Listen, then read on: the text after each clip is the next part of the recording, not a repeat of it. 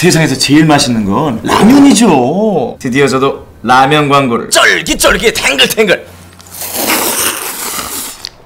어, 오늘따라 더 맛있네. 농심 한상탕면 안성탕면.